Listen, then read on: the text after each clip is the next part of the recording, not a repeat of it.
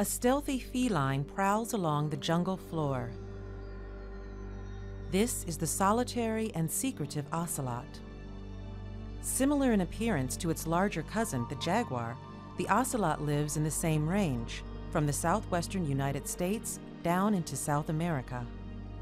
At about three times the size of an average house cat, it occupies an ecological niche as a mid-level predator, occasionally hunting during the day, but mainly under the cover of darkness. It hunts for small rodents and reptiles, usually in the dense underbrush.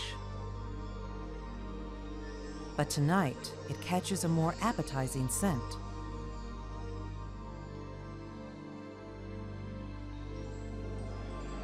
Pacas hiding in their underground burrow.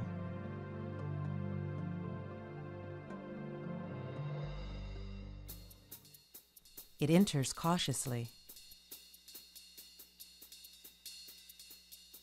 A full grown paca can be over two feet long and weigh 20 pounds, nearly the size of the ocelot itself. A juvenile paca makes a smaller and more tempting target.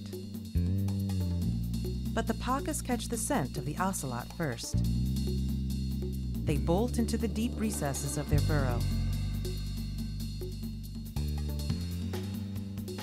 The odds are not in its favor. The ocelot soon gives up. It retreats to the mouth of the cave, pausing for a quick cleaning. It rests briefly, then resumes its hunt through the jungle.